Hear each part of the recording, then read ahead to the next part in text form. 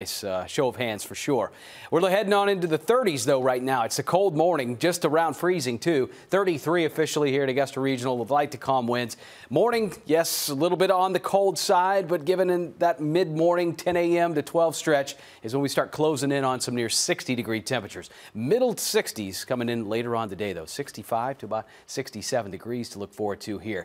Not a widespread freezing morning, but not far from it either here. 33 into Thomson, 36 Evans and Saluda. The low 40s are out there as well. Uh, it's definitely uh, jacket weather worthy here to start the day off. North Augusta to Graniteville, Augusta, all the way back towards Evans, Martinez, and Fort Gordon sitting in those mid 30s here. So getting a little lawn maintenance done after a soggy weekend. Some of the lawns are going to be wet. Uh, worry not, though. You got to do it, though. Upper 50s, low to mid 60s between noon and 5 o'clock. And how about the pollen level? Well, it got knocked back quite a bit from the rain this weekend.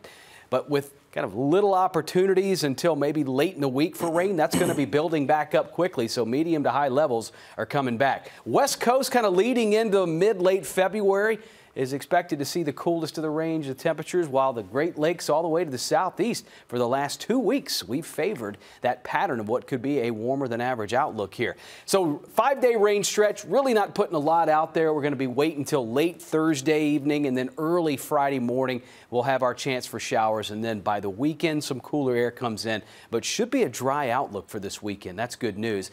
7 a.m. temps Coming in close to what they are now, lower to mid 30s, jumping into the middle 60s this afternoon. Beautiful sunny finish for the day here. The breeze about 5 to 10 out of the west. Look for those lows tomorrow morning to have kind of a very similar look. Down in the mid and upper 30s again to start the day off. A mix of sunny clouds to mostly sunny skies and we should be just about near 70. Upper 60s widespread for tomorrow afternoon. 70s kind of sail through Wednesday, Thursday stretch.